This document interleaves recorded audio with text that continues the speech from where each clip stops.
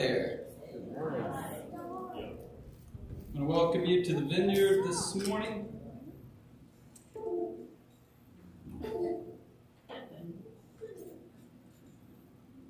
Dear guests with us, just a little bit of a head up. Heads up. We're about to move into a time of worship. Uh, the words to the songs are going to be on the screen behind us. That should free you up to worship any way that you choose. And um, this morning, you know, I'm, I'm uh, praying, been asking Lord just to come in power. And uh, there's just so many things going on in our world, and I know you know. And I feel like sometimes those things can be such a tremendous distraction to uh, our worship of God.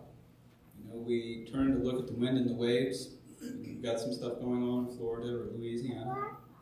We turn our eyes away from God to focus on the inhumanities of, of this world and, and, maybe some things that are going on, you know, um, like in Afghanistan and so on. And, and you know what? Um, I believe that in all things God is to be worshipped, God is to be praised. And I think that as we worship Him, the power of God comes, and as it comes, we then are really more in a place to, to pray and intercede and, ask for His favor. So this morning, I, what I want to encourage you to do is turn your eyes away from all of those things and uh, let's focus on Jesus. Let's focus on the Lord. Let's worship Him in glory and uh, majesty. Holy Spirit, we invite you to come now. Lord, I pray that you would take every uh, other distraction away from us and help us to literally fixate on you today. Fixate on your glory. Fixate on your majesty, Lord. Fixate on you, Lord. And as the old hymn goes, the things of earth will grow strangely dim in the light of your glory and grace, Lord. We just want to turn our eyes to you. Spirit of the sovereign Lord, come now, we pray. In Jesus' name, amen. You may stand if you'd like.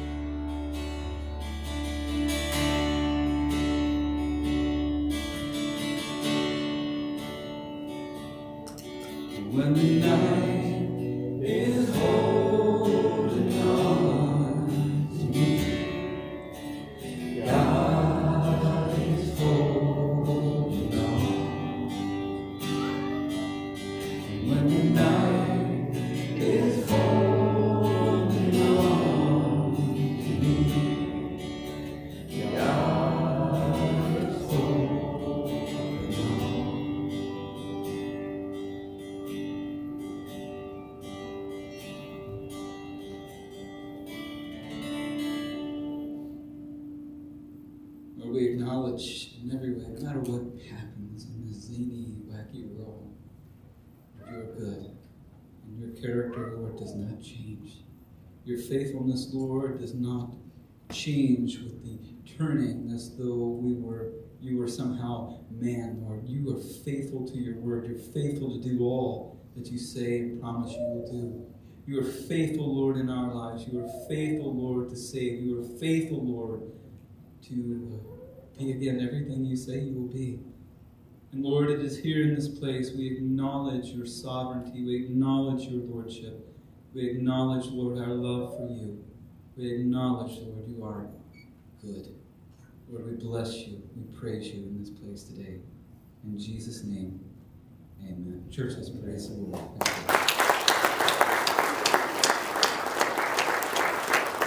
All right, if you'd like, you can go ahead and be seated.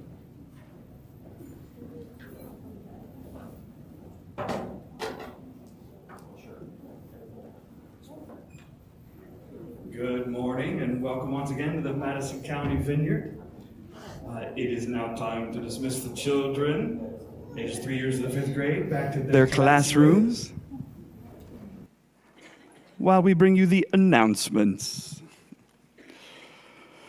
First, if you feel led to give an offering as a continued expression of your worship, please remember that you can place it in the boxes at the exits, uh, or you can give by going to our website or using our smartphone app.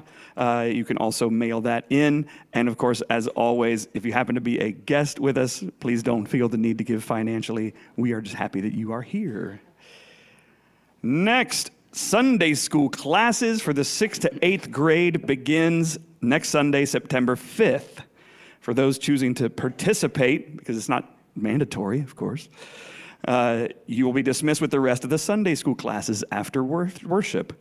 If you're a kid that's been going here a long time, it'll feel like old times, right? Mm-hmm. and you'll be meeting in the gym. And last, Man Up has a breakfast planned for September 18th at 8 a.m. Oh. oh.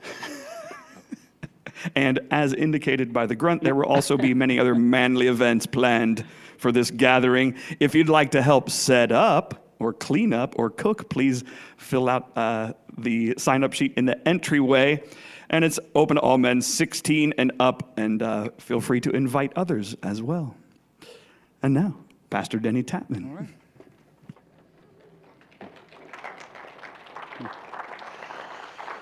All right. Well, I want to say uh, good morning to you uh, once again. Is this on, Rich? Yeah, I guess it is. All right. Uh, as Matt just mentioned, my name is Denny, and uh, I'm privileged to be one of the pastors on staff here with the Vineyard. And I'm really glad you've chosen to uh, worship with us this morning. There it is. I also want to welcome our family and friends who are joining us online. Say good morning to the Runyons there in West Jeff this morning. And uh, also, obviously, our guests here uh, this morning. And uh, hopefully, if you are a, a, guest with us this morning, you'll allow me the opportunity of personally introducing myself to you. At the uh, conclusion of the service today, I'm going to do my very best, no promises, but I'm going to do my very best to make it uh, my way out into the entryway. And it would be great if you just kind of swing by on your way out and say hi. I'd also be glad at that time to answer any questions that you may have. A number of weeks ago now, as uh, most of you already know, uh, we began a new series of teachings attempting to address some significant concerns I have for the spiritual condition of all those who call themselves uh, Christians.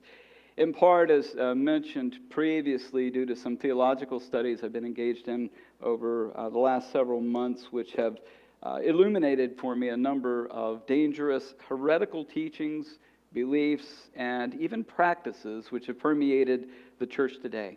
And that's a really, really big deal. It's, it's offensive to God and it's really impacting uh, a lot of individuals, maybe even potentially impacting their eternity. So it's a really, really big deal. Now, if you missed any of those teachings and you want to kind of catch up, you can go to our Facebook page, you can go to our YouTube channel, you can go to our website and get a podcast of that, or of course, you can just use our smartphone app and you can uh, either watch or listen to those teachings. And I would encourage you to do so, if only it, it, it, stimulates your thinking about the very things that I've been uh, discussing.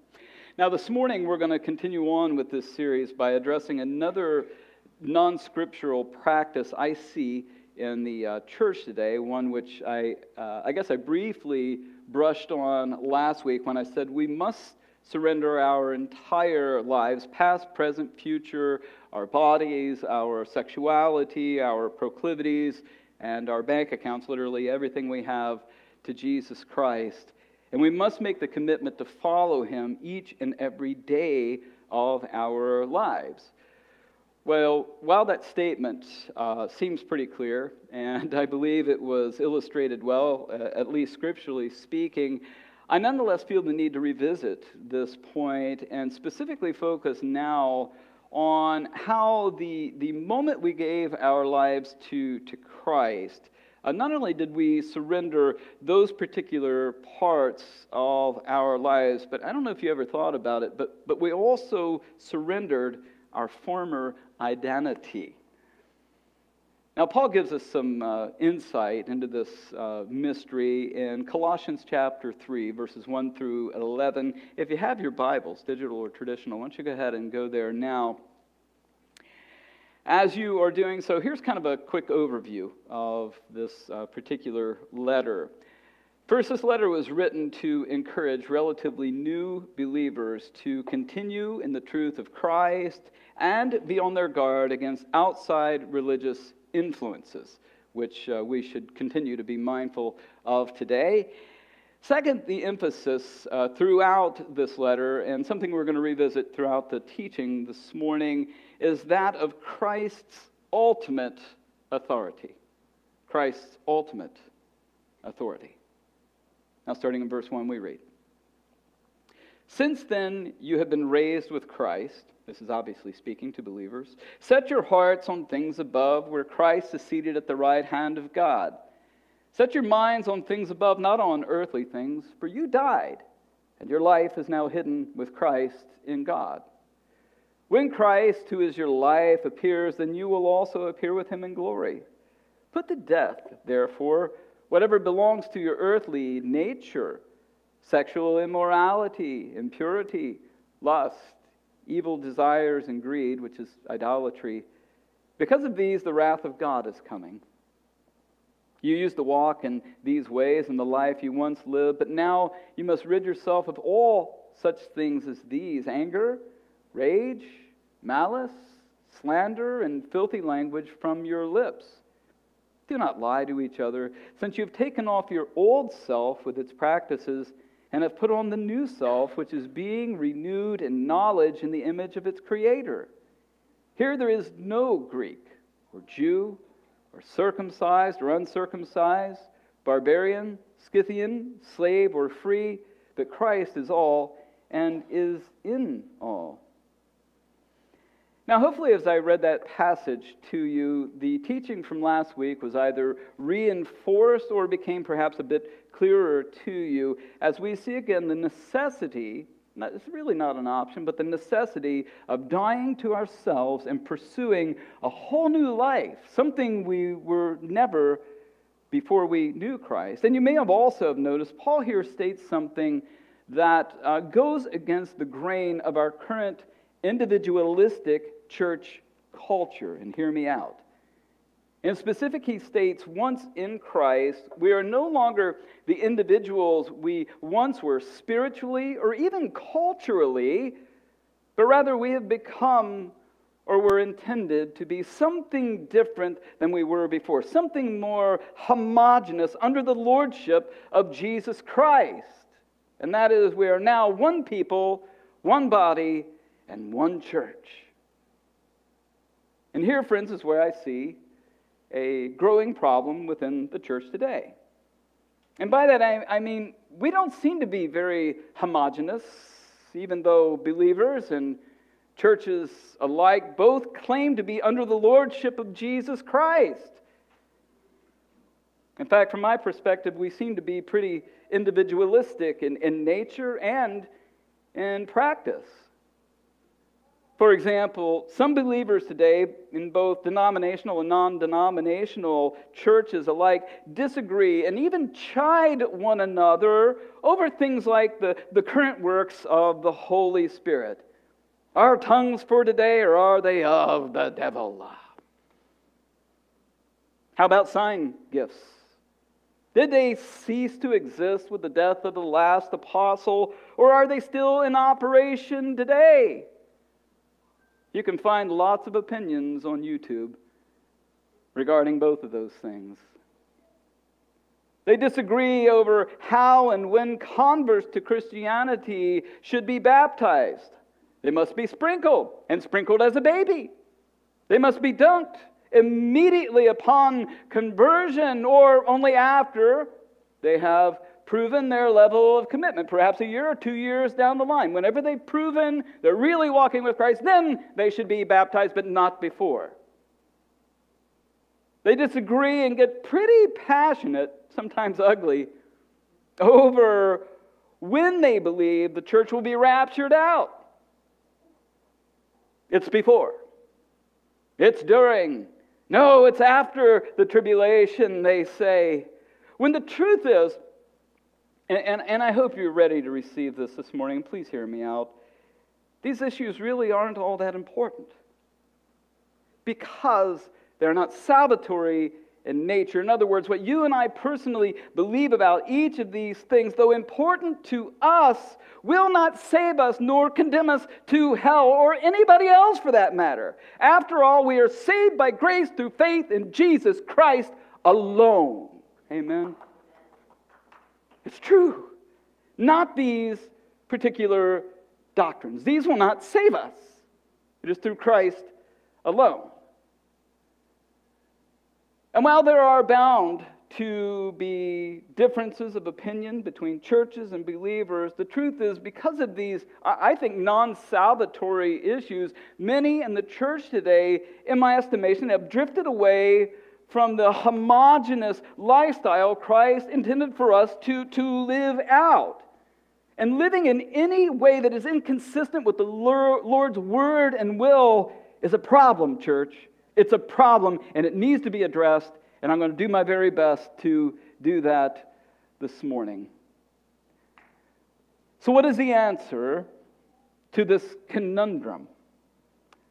Well, Paul tells us in Colossians chapter 3, verses 10 and 11, where he said, Put on the new self, which is being renewed in knowledge in the image of its creator.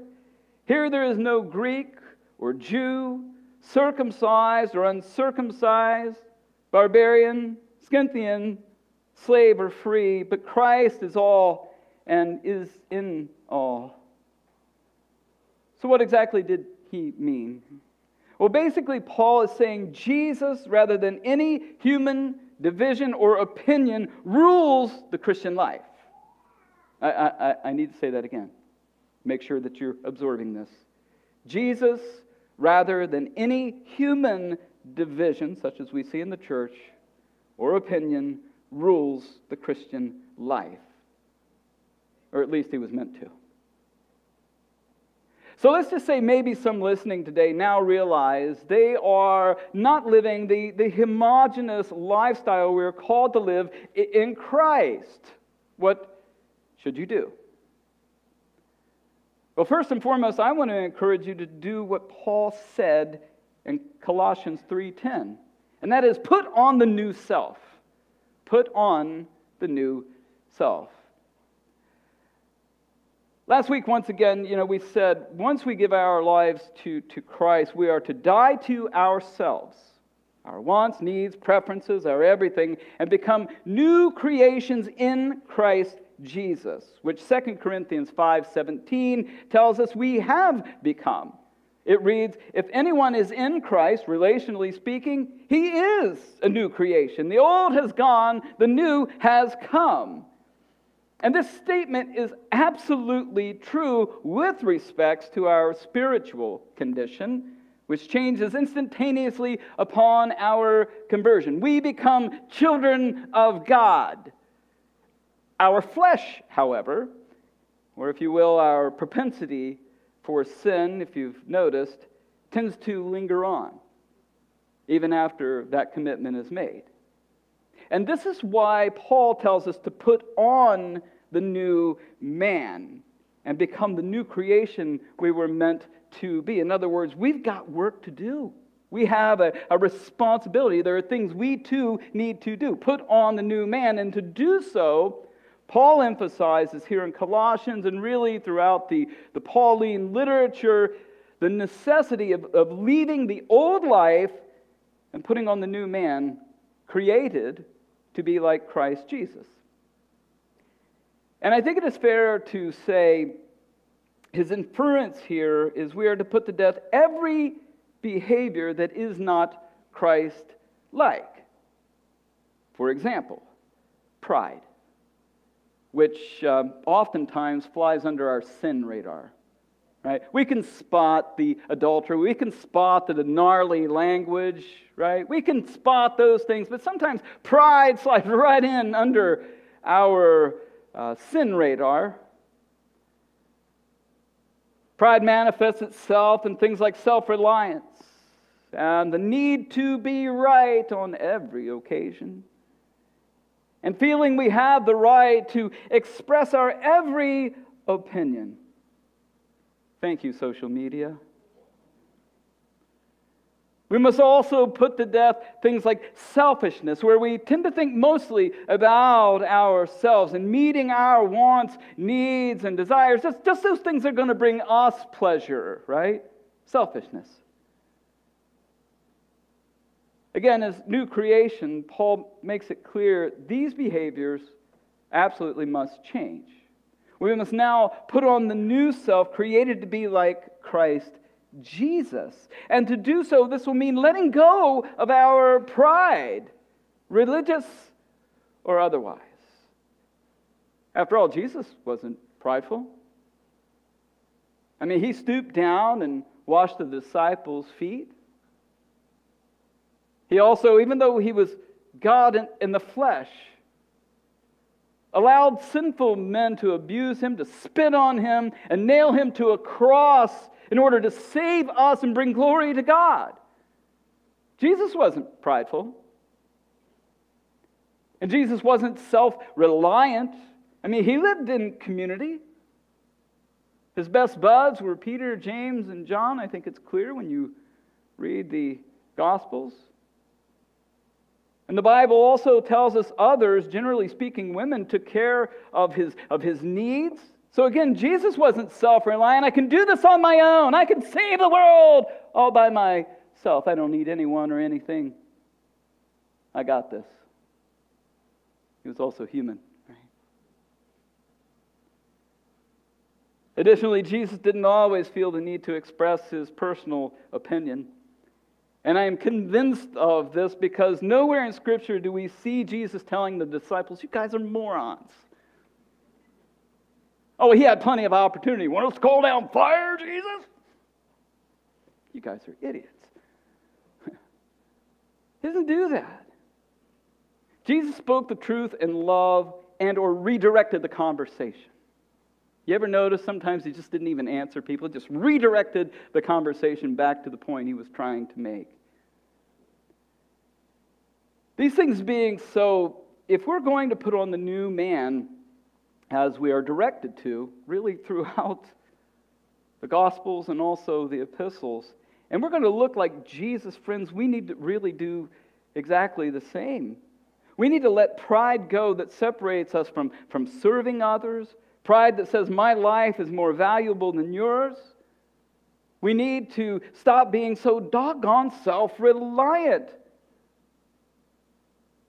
And it isn't just you, I'm, I'm talking to you video world, the tens who are watching.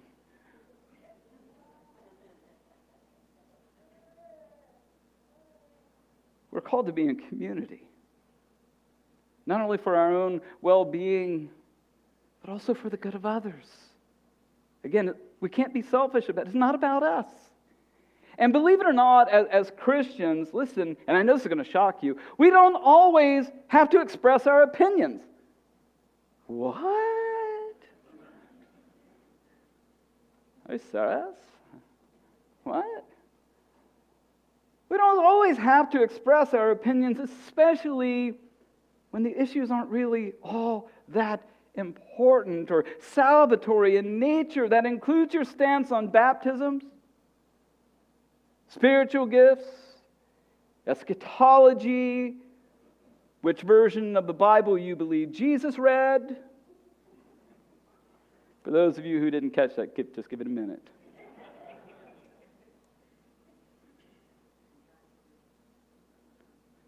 Vaccinations, politics, and the like. We don't always have to share our opinion, especially if it creates division. Now, my point is just simply this. If we're going to move towards the goal of, of being more homogenous with other believers, both here and in other churches, guys, we need to put on the new man created to be like Christ Jesus and put the old one and its earthly practices and behaviors to, to death. We must. This leads me to my second point. To move towards the homogenous community we're called to, to live in under Christ, church. We need to do all that we can to grow in the image of our Creator. Colossians 3 7 through 10. Paul said, You used to walk in these ways in the life you once lived, but now you must rid yourself of all such things as these anger, rage, malice, slander, and filthy language from your lips. Do not lie to each other since you have taken off your old self with its practices and put on the new self, which is being renewed in knowledge in the image of its creator. You know, I've said many times uh, from this pulpit the goal of our faith is to grow in Christ's likeness, or if you will, into the image of our Creator. And to do so, as, as we just mentioned, takes effort. In other words, while there are uh, certainly advantages to coming to church, uh, worshiping, listening to a, a teaching, and, and hanging out with holy, holy people. While helpful, listen, these things will not, as though through some kind of osmosis, necessarily make us holy.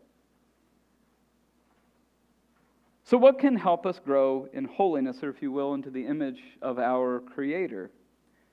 Do you guys really want to know? It'll probably sound kind of boring. Well, I'm going to tell you anyway. There's five things. First and foremost, pray. In other words, spend time with God talking with Him about where you really are emotionally and spiritually, what you need and what you're struggling with. Humble yourself and ask Him for help. Guys, I can't emphasize this enough, but listen, we will never, ever grow in Christ likeness unless we're spending time with God in prayer. And the more time we spend, the more we're going to grow. Second, spend time in God's Word. Some of you saw that coming. Good for you. It is here in these 66 books we call the Bible, we see the nature of God, our Creator, the one we are called to emulate. And we see specifically what it is He asks of us. Psalm 119, verse 9, reminds us how can a young man or any person really keep his way pure? By living according to your word. To know, we got to be in the word. Don't take my word for it. I'm a bonehead. But I'm trying to bring you the truth. Get into the Word yourself. Third, get in community. The reality is, is we cannot grow in holiness without being in community. Psalm or Proverbs rather 27:17 says, As iron sharpens iron, so one man sharpens another. And as we think of community, listen, I, I want you to remember God Himself is in community and has always been in community, and we were created in His image. Father, Son, Holy Spirit, triune God. Right? He's always been in community. We were created to be in community. Fourth, do your very best to obey God's word. And uh, as mentioned last week, those inner promptings of, of the Holy Spirit when He directs you to do something or to stop doing something again, I cannot emphasize this strongly enough. There is no growth without obedience. I don't care how many Bible studies you go to. I don't care how much money you give. I don't care. There is no growth, spiritually speaking, without obedience. It doesn't exist. So you must do those things which God calls you to do. Be in the Word, listen to the Word, obey the Word.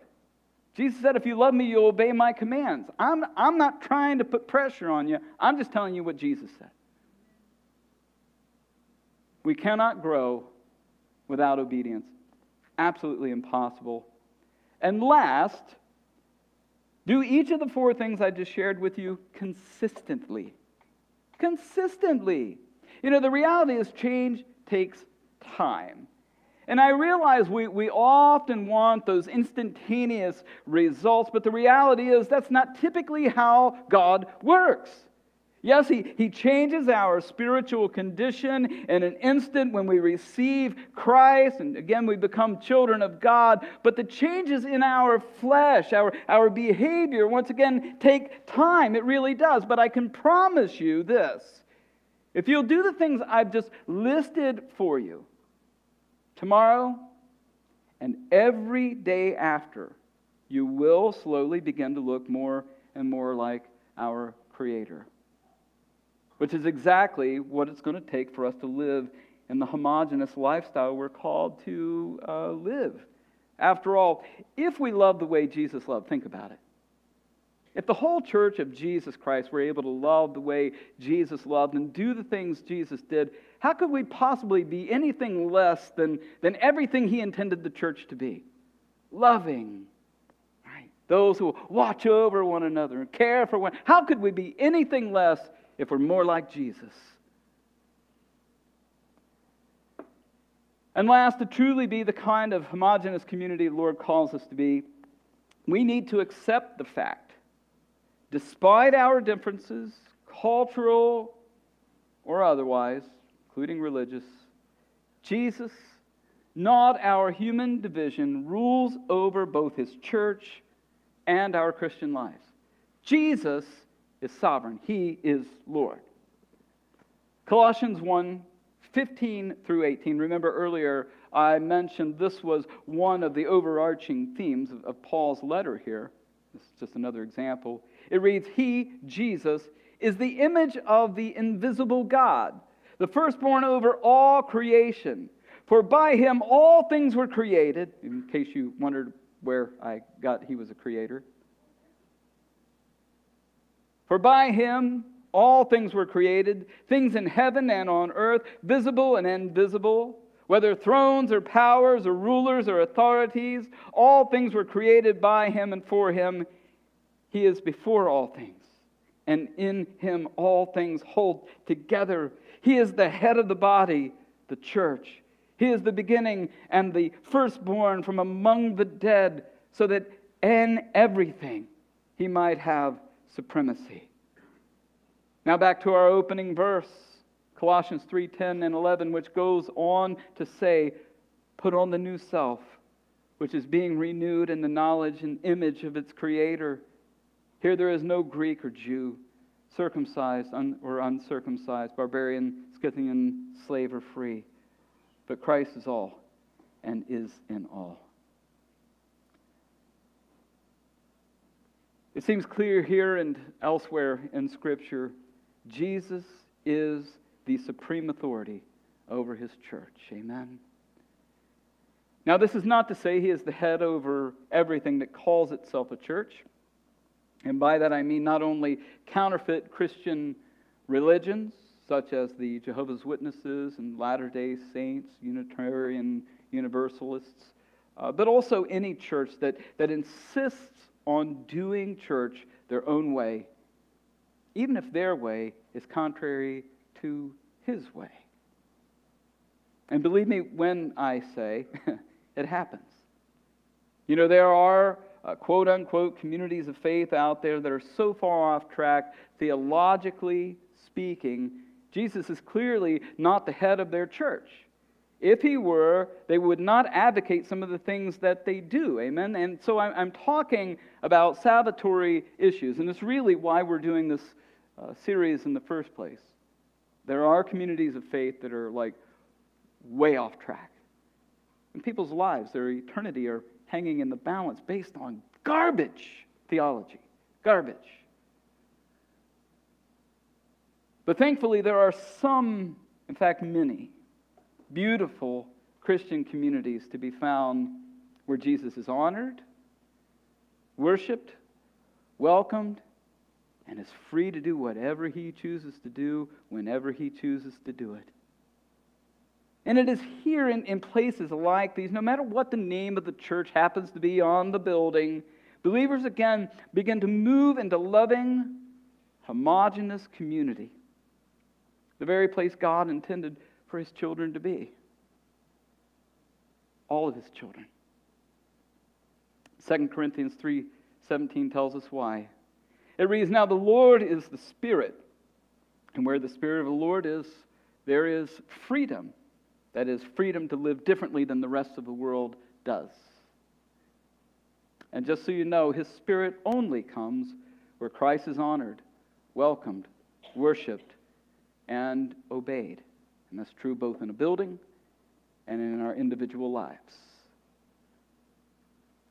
Because this is so, uh, I want to encourage you to pray, you know, not only for this place, that Jesus will always be Lord and direct every step we take, but also pray the same for other fellowships and for yourselves. Pray for a personal willingness to, to allow Him to direct your every step and every decision that you make. Only then will you and I be transformed and, and grow in Christ's likeness and be capable of blending well with others. Again, the point is just simply this to truly live in the kind of homogenous community God intended for His church we absolutely must accept the fact Jesus, not our division, not our theology, is Lord over all. Jesus is Lord.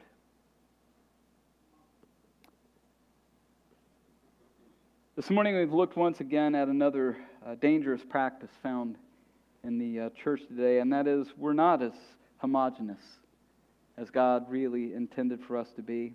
And again, I think that's a big deal. To remedy this today, we said, first and foremost, we need to put on the new self. We became something different in Christ. We lost our former identity. We're no longer Jew or Greek, slave or free. We're, we're not what we once were. We're a new creation in Christ Jesus. So we need to intentionally put off the old self and put on the, the new self, created to be like Christ. Put off the old self, put on the new self. Second, to move towards the homogenous community we're called to live in, we need to do all that we can to grow in the image of our Creator. Again, it's great to show to church. And about 50% of this church did today. And it's probably true in every church in this country. About 50%.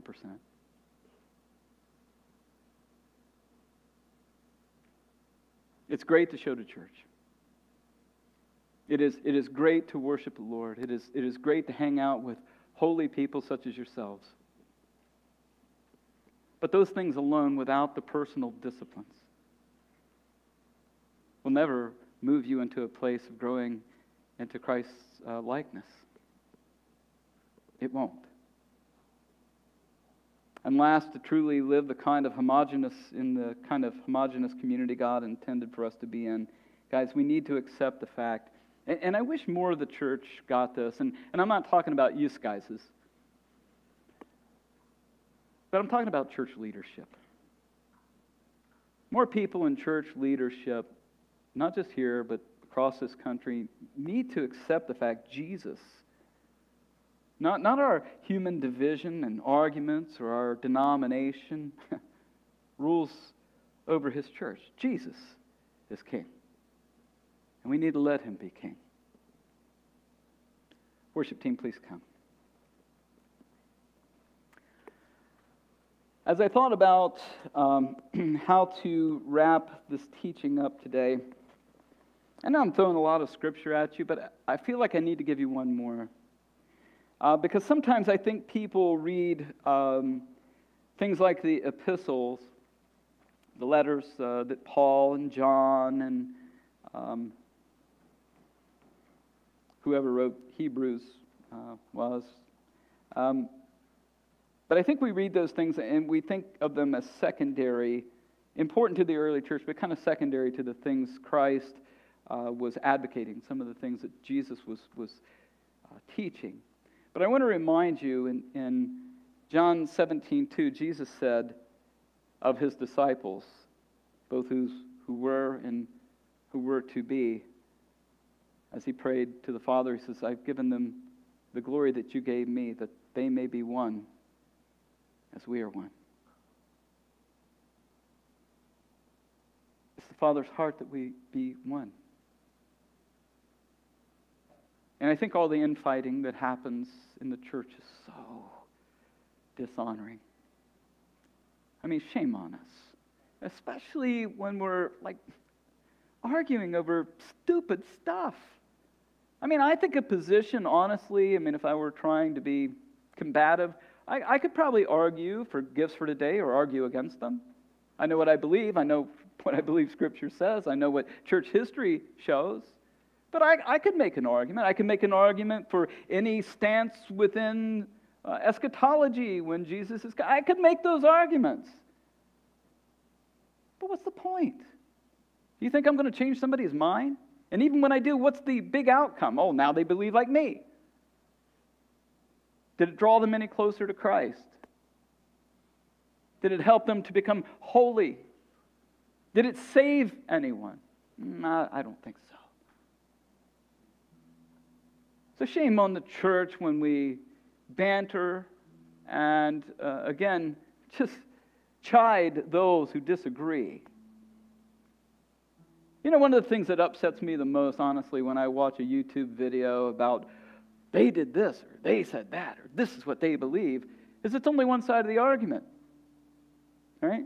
Anybody can sound smart if you're only hearing one side. Anyone.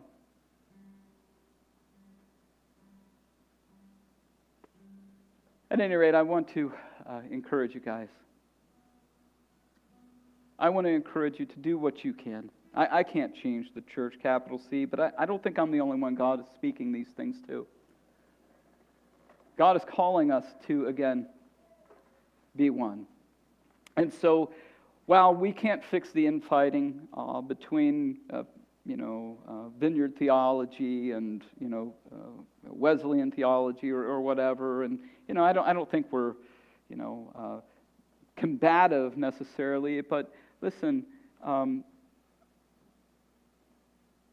we need to be more homogenous. We need to be more loving, embracing of those uh, within the Baptist church, within the Nazarene church, within whatever. We, we do. We do. And when I say we, I mean the whole church, not just you and me. Right? The church needs to be better at being what God's called us to be. At any rate, I'm going to leave that uh, before you. And as we move on now to the, the ministry time, um, I do feel as though um, God wants to shift um, our paradigm, uh, perhaps. You know, maybe, maybe we're just locked in on something that's really not all that critical, not all that important. And I feel like, you know, that's, it, it's fine to know what you believe and why you believe it. Everyone should. You know, we should look into these things. We should be prayerful. We should um, but I feel like sometimes we box Jesus in. I feel like we box the Holy Spirit in. We're going, this is all God does. Really? Have you looked at Scripture? Have you seen what my God can do? If you think this is all He can do, your God is too small. You're not worshiping the God of the Bible. I want to encourage you, you know, if, if you're not experiencing the fullness of Christ, if you're not experiencing life, if you're not experiencing joy, if you're not experiencing the life we were called to, to live as believers, you know, maybe, maybe you're, you're just like straight arm other people. I want to encourage you to uh, just ask the Lord to just change your heart, give you the opportunity, the, the ability to experience more of His presence. And it's in His presence that we grow again in holiness. Let's pray and see what the Lord wants to do. Lord Jesus, we invite you to come now and, and move among us. We ask, Lord, that you would shift our paradigm from anything that uh, would cause us to, to remove ourselves from community with other believers. Sure, Lord, they, they may be Mennonite, they may be Baptist, they may be any one of 10,000, literally 10,000 different denominations. But God, you've called us to be one body, one people, one church, under our sovereign Lord. And God, if there are any places that we have just refused to allow you to be Lord, Papa, would you help us to surrender those things to you? Would you help us to stop quarreling and fighting over things that just do not matter? Lord, if there are um, any areas of disunity within this fellowship, I pray you would heal them. All this week, Lord, I felt like you were going to do something amazing, and maybe no one will come forward for prayer, and that's fine. But I believe, Lord, you're going to touch some people today, even where they are. And you're going to experience things, Lord, they, they didn't realize they could experience. Holy Spirit, come. Come and move. Come and heal. Thank you, Jesus.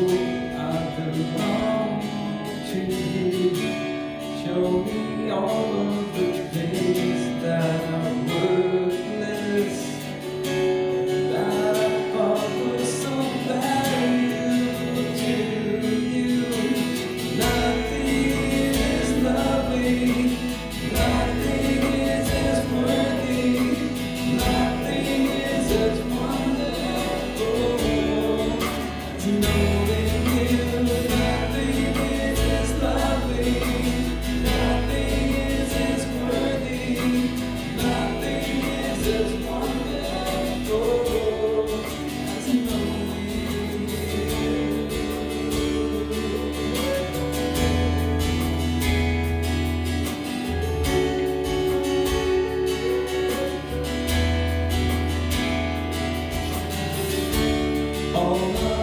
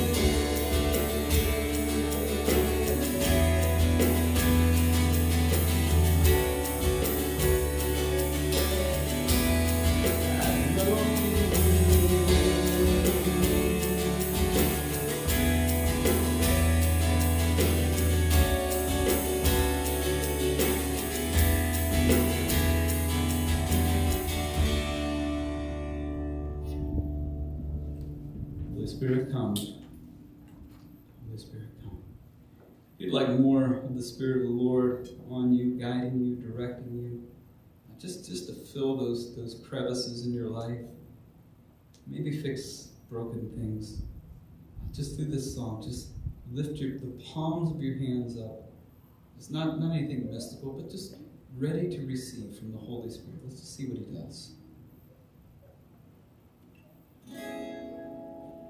Thank you.